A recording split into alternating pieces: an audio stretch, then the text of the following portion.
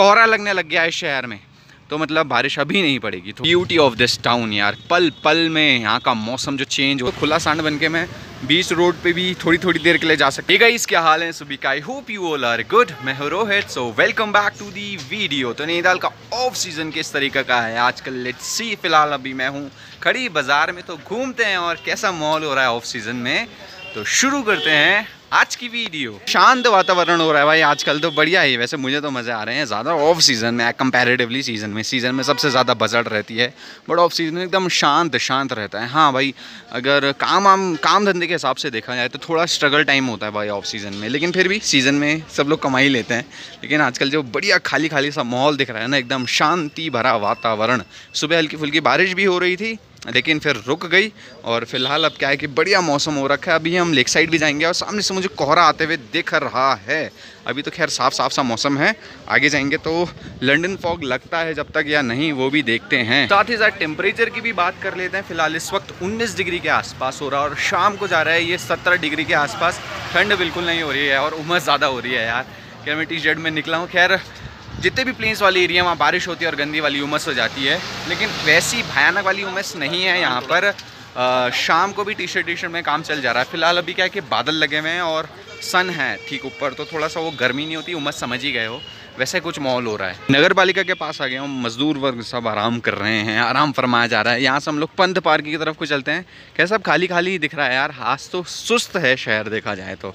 बारिश के, या वैसा ऑफ़ सीज़न में जिस तरीके का सुस्त जैसा माहौल रहता है ना शहर का, वैसा ही हो रहा है। हाँ पेड़ों की पेड़ों की तरफ़ से निकल रहे हैं तो पेड़ों की छाँव में जो हल्की सी ठंडक महसूस हो रही है, वो बहुत ही अच्छा सा लग रहा है यार। फुटपाथ वाले एरिया में आ गया हूँ, फ़िलहाल अभी साफ़ साफ़ सा माहौल दिख रहा है। और क्या है ना, नैनीताल शहर में हरियाली बहुत ज़्यादा है यार। हर तरफ़, चारों तरफ़ से हरियाली पेड़ पौधे और सावन के बाद या बरसात हो जाती है, उसके बाद जो हरियाली साफ़ या एटमोसफेयर साफ़ हो जाता है ना, और ज़्यादा अच्छा लगता है। मतलब चीज़ें हर चीज़ खिलखिलाने लगती हैं। फुटपाथ वाले एरिया यहाँ पर अभी क्या है कि मौसम साफ़ दिख रहा है, लेकिन मुझे ना लेक साइड क्या है कि क्लाउड्स जो हैं, जो बादल हैं, वो आगे आते हुए दिख रहे हैं। अभी हो सकता है कि कोहरा अपनी आगोश में इस शहर को ले ले।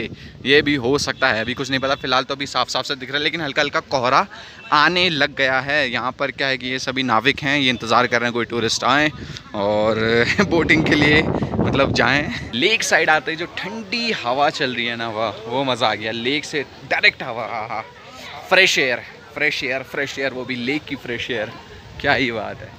खैर, वैसे सुनसान है, इतना ज़्यादा टूरिज़्म नहीं है, हल्के इक्का दुक्का इक्का दुक्का ही लोग दिख रहे हैं, ज़्यादा नहीं दिख रहे हैं। ज़्यादा बोट खड़ी होने का मतलब यही है कि टूरिज़्म शहर में कम है, बाकी इक्का दुक्का इक्का दुक्का बोट्स दिख ही रही हैं जो जाते हैं। कोहरा अभी भी वहीं है, मैं सोच रहा था कि ये कम वक्त यहाँ तक पहुँच जाएगा, लेकिन अभी तक पहुँचा नहीं है। अगर पहुँच जाए तो कितना अच्छा है ना, दोबारा से ये पूरा अपनी आगोश में शहर को ले लेगा।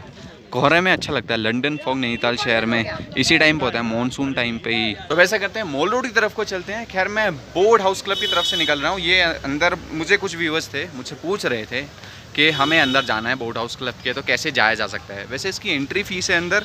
जब आप मेंबर नहीं हो तो खैर, उसके लिए एंट्री फ़ीस लगेगी। वो डिपेंड करता है, दो ढाई सौ रुपये शायद है, और वो भी कपल्स के लिए है फैमिली मेंबर्स के लिए है। लड़कड़कों के लिए अगर आप इकट्ठा झुंड बना के जाओगे, शायद एंट्री नहीं मिलेगी। वो एक बार कंफर्म कर लेना। बट एक ही कपल्स को एंट्री मिल जाती है। वो डिपेंडिंग की मतलब क्या रेट है? दो ढाई सौ रुपये शायद पड़ता है ये पर पर्सन उसके बाद फिर आप अंदर जाके इन्जॉय इन्जॉय कर सकते हो। लेकिन अच्छा है अंदर। काफ़ी बार मैं भी जा चुका हूँ। मेरे यहाँ के एक फ्रेंड हैं जो मेंबर हैं।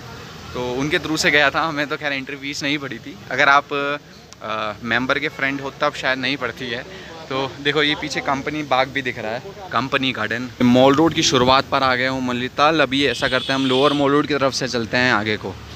खैर, आराम से, खैर, आज भीड़ ही नहीं हो रही तो आज तो खुला सांड बन के मैं बीच रोड पे भी थोड़ी थोड़ी देर के लिए जा सकता हूँ। जब जब कार आ रहा है तो साइड हो जाओ। वैसे ठीक ही है, बढ़िया लग रहा है यार, ऐसे अच्छा लग रहा है। चिनार के आगोश में, ये चिनार के पेड़ हैं, सारे जितने दिख रहे हैं। चिनार का पेड़ अगर आपको कैसे समझाऊँ कश्मीर गए हो तो इन ट्रीज़ की याद आ जाएगी। और मोहब्बत फ़िल्म देखी हो तो वो ब्राउन रंग के जो उड़ते हैं ना तो यही हैं वो चिनार के पेड़। तो ये ब्रिटिशर्स जब आए थे नैनीताल तो उन्होंने पूरे मॉल रोड में चिनार के पेड़ लगाए थे। तो बड़ा ही सुंदर, अलग ही कलर बिखेरते हैं ये चिनार के पेड़। अभी ग्रीन हैं, कुछ दिन बाद हल्के हल्के ब्राउनिश रेडिश भी हो जाते हैं। तो हर सीज़न में इनके कलर अलग अलग होते हैं। खैर, मैं अपर मॉल रोड में आ गया यार। लोअर मॉल रोड से अपर मॉल रोड बाकी होटल होटल बहुत से लोग बोल रहे थे कि हज़ार रुपये में क्या मॉल रोड में भी होटल मिल जाएगा? इस बीच वैसे मिल जाएगा, सही बताऊँ, थोड़ा बहुत सर्च करना पड़ेगा। बहुत से ऐसे होटल्स हैं जो मॉल रोड में हज़ार रुपये में, हज़ार से नीचे में भी रूम मिल जाता है। बट ये है कि अब यार कुछ आलिशान होटल, ये मत सोचना कि यार जो महँगे वाले होटल हैं वो हज़ार रुपये में दे देंगे, ऐसा नहीं होगा। कम बजट वाले होटल्स हैं, थोड़ा सर्च करना पड़ेगा बस। नो पार्किंग लिखा लेकिन कार भी तो होनी चाहिए पार्किंग के लिए। ऑफ़ सीज़न में तो ये बोर्ड हटाए जा सकते हैं, क्योंकि भीड़ इतनी है ही नहीं। ठीक ही है खैर। सीज़न में सबसे ज़्यादा दिक्कत होती है शहर में। ऑफ़ सीज़न में तो भाई मस्त रहता है यार। बट ये कि होटलियर्स के लिए थोड़ी बहुत दिक्कत हो जाती है क्योंकि रूम्स होते ही नहीं। मतलब वो रूम्स में बिल्कुल भी लोग नहीं होते हैं। तो इस चक्कर में ना, वो कोई भी रेट पे कि यार चलो हज़ार रुपये में ही दे दो, चलो आठ सौ, चलो आठ सौ में ही दे दो। थोड़ा और झिक झिक कर दो क्योंकि मैंने देखा है भाई लोगों को सात सात सौ रुपये में मॉल रोड में होटल मतलब वो रुक जाते हैं यार। सात सौ रुपये में मॉल रोड में भी होटल मिल जाता है बहुत से लोगों को। मैंने देखा है लिटरली लोग मुझे कमेंट करते हैं, भाई, मैं मॉल रोड में लेक फेसिंग होटल था यार, मैं रुका आराम से, मस्त एकदम सात सौ रुपये में रुका था। क्या यही मज़ा है यार शहर का? वैसे यहाँ के मौसम का लुत्फ उठाने के लिए ना, लोग दूर दूर से आते हैं। थोड़ा बहुत रेनी सीज़न में लोग थोड़ा सा डरते हैं कि अब यार लैंडस्लाइड तो नहीं अब होती है यार हिली एरिया तो लैंडस्लाइड भी होगी बट ऐसा डेंजर शहर के अंदर तो नहीं होता, फ़िलहाल आजकल तो नहीं है।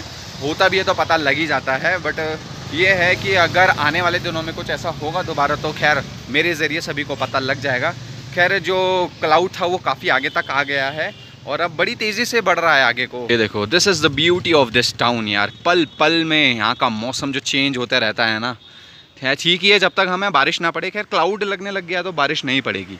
तो ये मतलब हम लोग भी थोड़ा बहुत हल्का फुल्का एक एक मतलब पल पल घंटे की खबर हमें पता लग जाती है। अगर कोहरा लगने लग गया है शहर में तो मतलब बारिश अभी नहीं पड़ेगी, थोड़ी मतलब जब तक कोहरा छट नहीं जाता, क्योंकि घने कोहरे में बारिश नहीं पड़ती है। यार मुझे कभी ऐसा लगता है ना, मैं मौसम विभाग वाला हूँ यार, मैं सो हर हर किसी को वेदर वेदर अपडेट चाहिए होती है। तो मौसम विभाग वाली फीलिंग लगती है यार मुझे खुद की, मैं खुद हूँ मौसम विभाग कर्मचारी। अरे यार, देखो किस तरीके से आ रहा है यार, बहुत तेज़ी से बढ़ रहा है अब तो ये कोहरा। खैर, देखो अपनी आगोश में शहर को ले लेगा, इधर तो खैर गायब ही हो गई, देखो। पूरा ही धुंध में। इधर देखो हल्की हल्की सी घंटियाँ बज रही हैं जो होती हैं, इनका नाम मैं भूल गया हूँ भाई। ये विंड पता नहीं क्या थी। टिन टिन टिन टिन आवाज़ें आ रही हैं। कुछ चीज़ें ठीक है। हर चीज़ याद रखना भी ज़रूरी नहीं है। जो चीज़ याद है है, नहीं है, कोई बात नहीं। ये देखो भाई, सब सब गायब हो गया। एक चीज़ है कि लाइफ में परफेक्ट होना भी ज़रूरी नहीं है यार। हर चीज़ में परफेक्ट नहीं होते। ये ये अपनी, मेरी अपनी फ़िलोसफी है कि ज़रूरी नहीं है कि हर चीज़ एकदम परफेक्ट हो। इनपरफेक्ट भी चलती है यार। ऐसा ही तो रॉ रॉ होता है ना रॉ होना भी बहुत ज़रूरी है। एकदम फाइन हो जाओगे तो हर चीज़ में मज़ा नहीं आता।